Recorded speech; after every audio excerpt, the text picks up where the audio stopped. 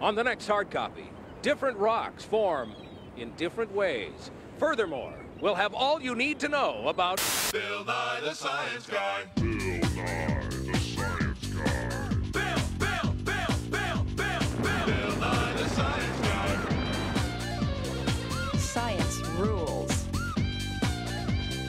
Bill Nye the Science Guy. Inertia is a property of matter. Bill, Bill, Bill, Bill Nye seven seconds. Bill, Bill, Bill. Bill Nye the Science Guy. Brought to you by rocks. Did you ever stop to think that the whole world is covered with rocks? And every rock used to be different. When you're looking at a rock, you're looking at history. Careful.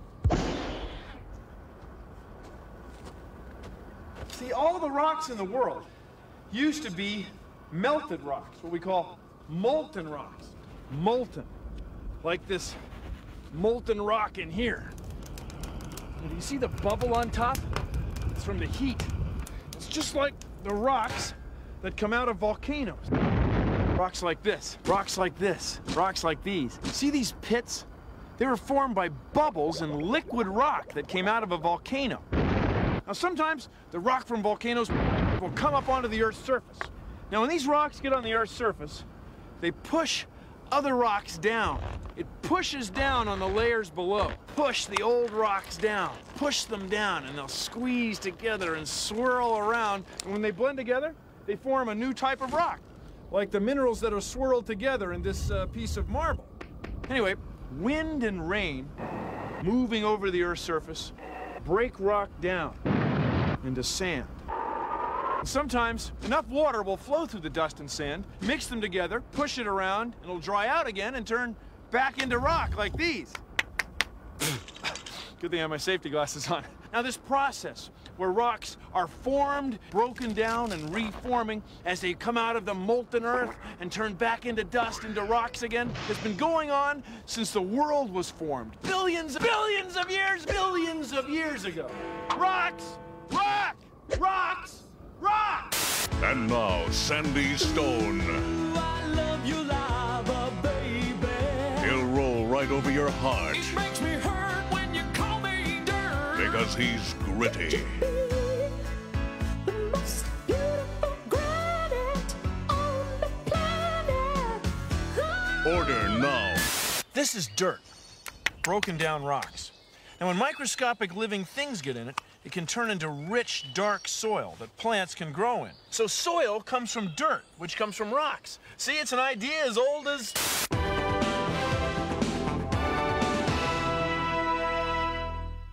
As you can see, there are no mighty rocks here now. It's all been reduced to eeny, teeny, tiny bits of sand, reduced by the pounding surf, the merciless storms, weakened by the sun, but mostly by the pounding, So pounding, the sand has pounding. been pounded uh, from solid rock. Now that rock was once liquid, Hey, molten hey, rock. hey, hey, I'm But not now finished. it's nothing. And so what can the government do about this pounding, pounding, pounding in the final ago. analysis? Listen, we're talking about nothing. tens of thousands of years. I'm This talking about something- pounding. Different rocks are formed in different ways. All the material in this sandstone once belonged to other rocks. That rocks. Scientists like to think of three types of rock. Now, the first type you might call igneous rock.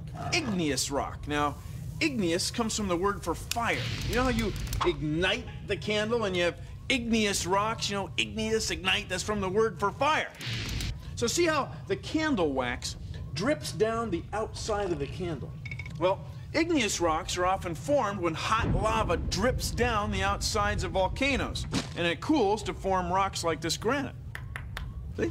The next type of rock we call sedimentary rock. Now, sediment, that's silt, mud, goop in rivers. So if you have a river and it's washing sand, mud, or silt, sediment, downstream, well, eventually the river may dry up or drain away, leaving the sediment, the sand, silt, or mud. Now, this sand would be heavy.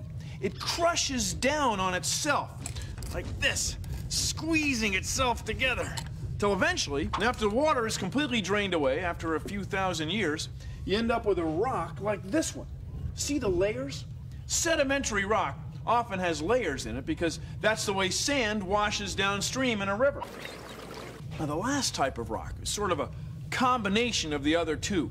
We call it metamorphic rock. Now, metamorphic means it's changed, it's uh, metamorphosized. So, if you look at this, this is rock that was once sand, but it's been smushed together by huge pressures under very high heat. Pressure and heat, smashing the rock till it's just crushed flat like this.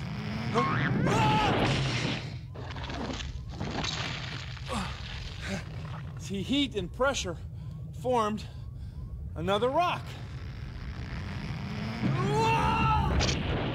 So you think rocks are boring? You think rocks are stupid? Well, it's my job as your guidance counselor to show you that rocks are your friend. Come on, I'll show you.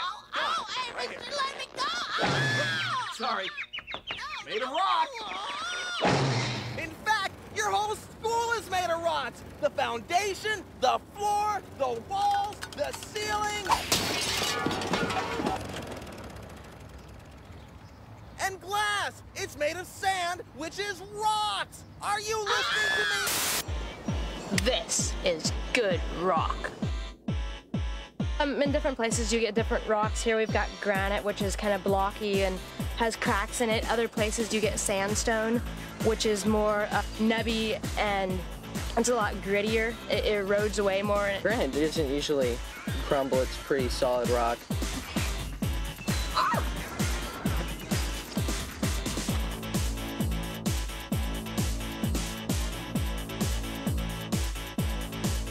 Rock climbing's all about is just going up on a rock, feeling rock, you know, basically getting a rush for the day and just having the best time of your life. Yeah!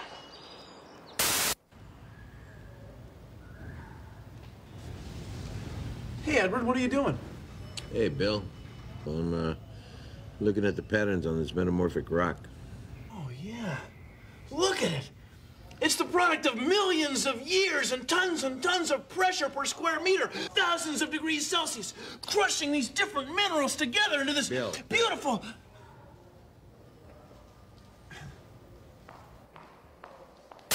Every rock you see used to be different.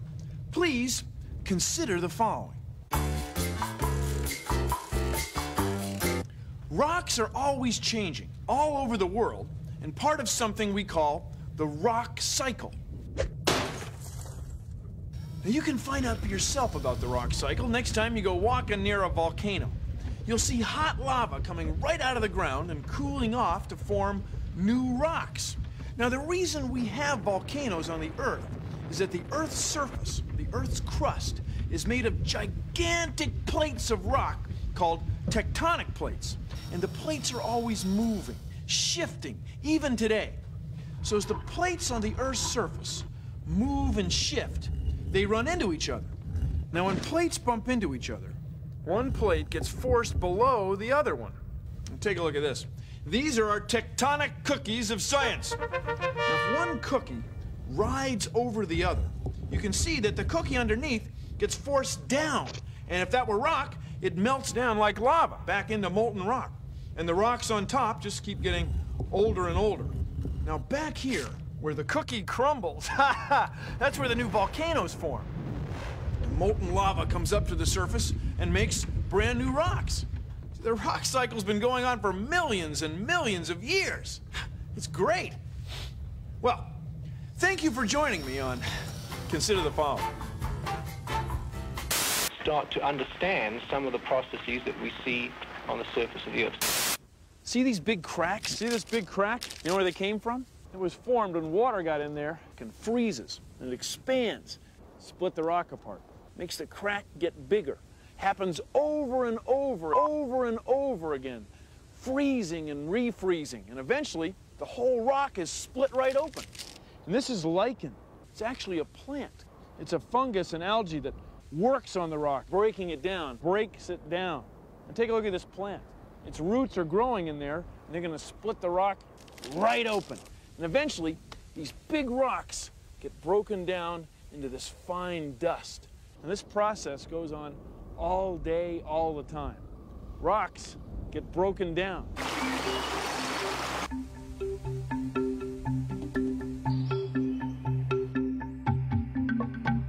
Student Conservation uh, Association program is, uh, is a program for, uh, for, for young teenagers to get uh, a feeling of the outdoors, and, and they're out here living outdoors and working outdoors.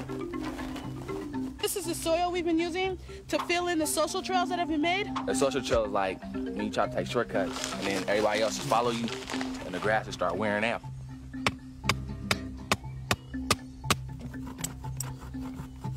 Rocks should just be here to support everything down low.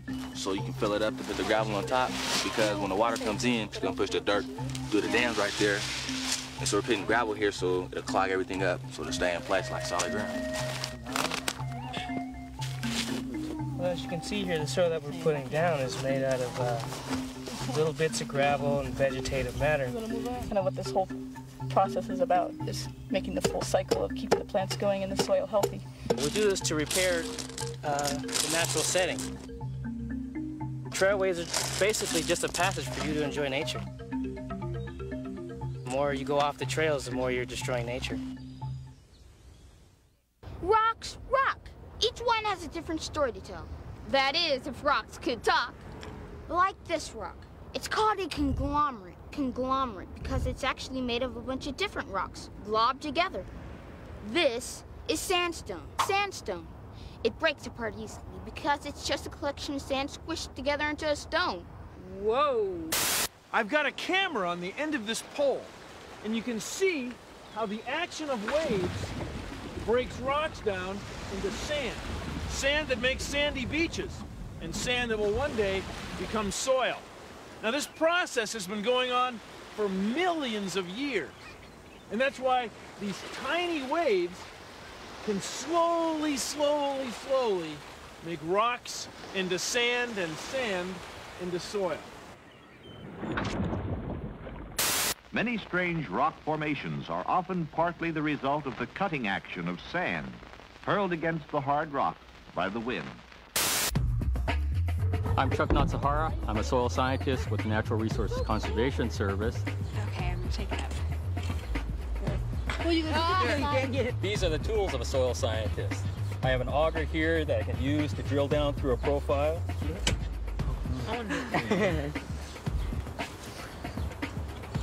Still sand?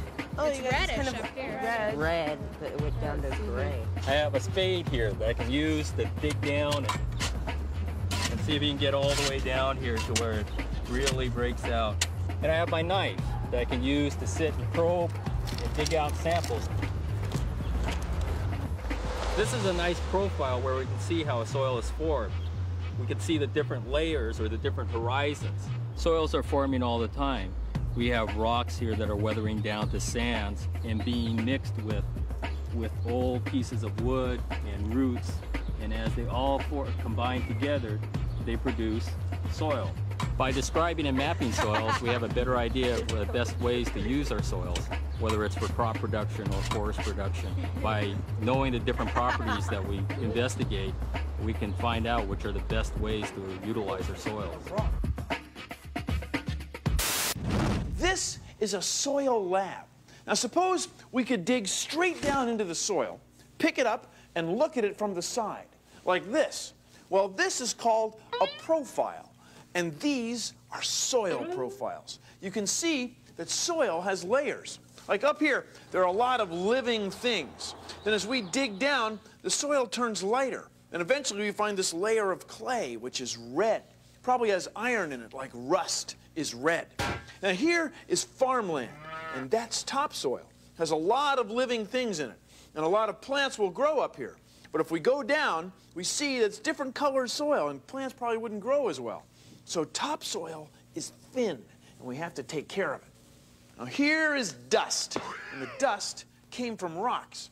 As we dig deeper, we find small rocks. We keep going down, slightly larger rocks, then slightly larger than that rocks, and then big rocks. See, soil comes from rocks. It always has. Soil is everywhere.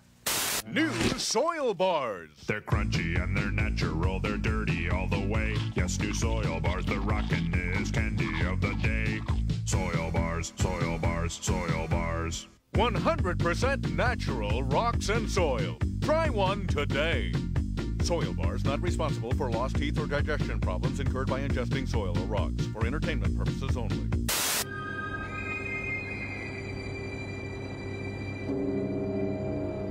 She'll be flooding down the mountain when she comes. That looks like sand erosion. Doesn't it look like wind erosion there? Sort of a. Hey, Bill, why are you playing in the sand? Oh, I'm getting ready to recreate one of the greatest floods in geologic history. Oh, you mean that flood over 16,000 years ago in the eastern part of Washington state? The one where that gigantically huge glacier broke and spilled a gigantically huge amount of water that washed away millions of tons of sediment, exposing the volcanic rock underneath? That flood? Yeah, that's the one. Boy, you sure know your ancient floods. Who doesn't? A vast lake formed behind gigantic walls of ice. From time to time, the ice dams gave way. Enormous floods scoured the volcanic landscape, displacing tons of rocks and soil as the water flowed westward to the sea.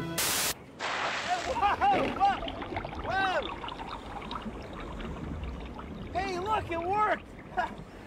In what is now Washington State, a huge waterfall was formed. The reshaped rocks of the dry falls remain today, speaking silently of the torrent's power. The wind can change the land. In the desert, it blows sand, changing the shape of the low, sandy hills.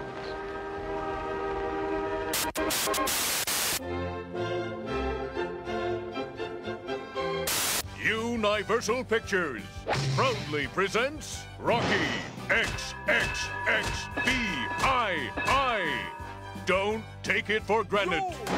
See these little pits? These are bubbles that came out of a, vol- vol- vol- vol- vol- volcano. See the pits in this rock? Well, they started out as bubbles in a volcano. Yeah, this rock was once a liquid.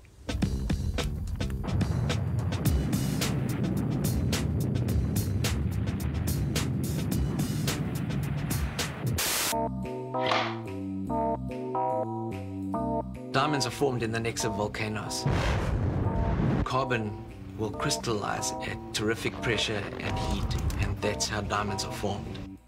My job as a diamond cutter is to take the rough crystal like this and to make it into a gemstone like this. Diamond is the hardest substance known to man, and only diamond will cut diamond.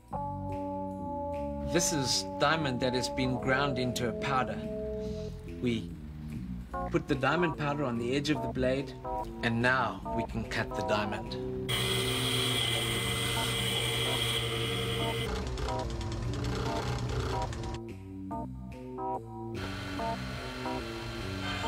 Now that's a rock.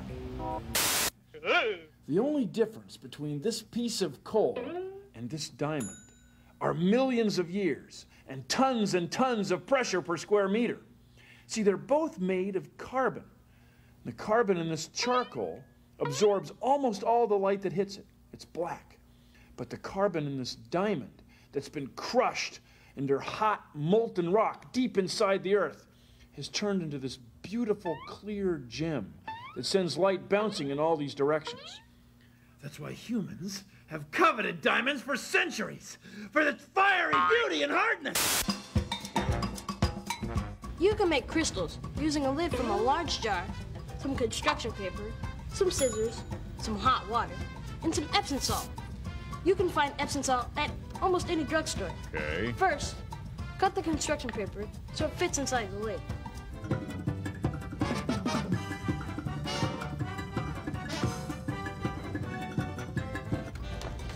There. Now put some Epsom salt in some hot water.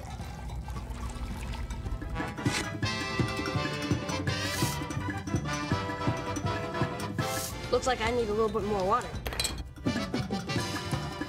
Now stir it.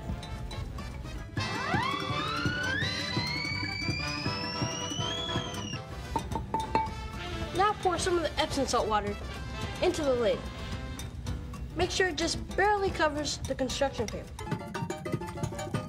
Now, let it sit for about a day.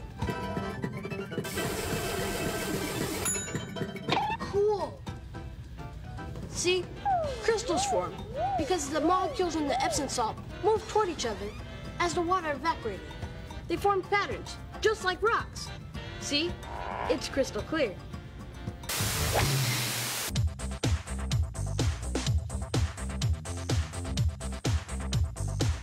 So you see, rocks are your friend! Rocks are formed in many different ways. I want to talk about them if that's okay. Made by pressure, heat, and water, we rock hard, but rocks rock harder.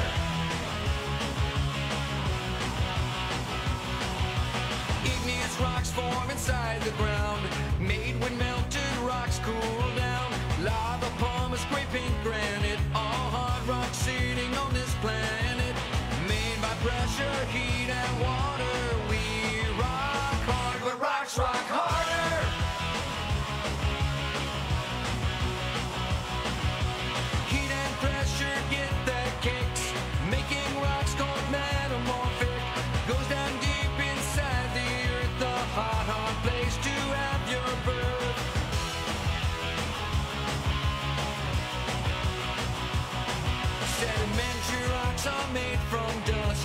sandstone colored gray and rust. Wind and water break them down, cut big canyons in the ground. Made from pressure, heat, and water.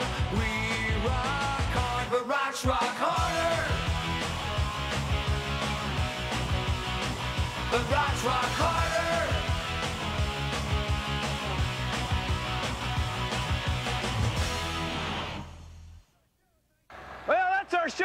Thanks for watching. You'll excuse me. I've got some igneous rock crystal cleavage planes to evaluate. See ya! Produced in association with the National Science Foundation. Well, that's our show. Thanks for watching.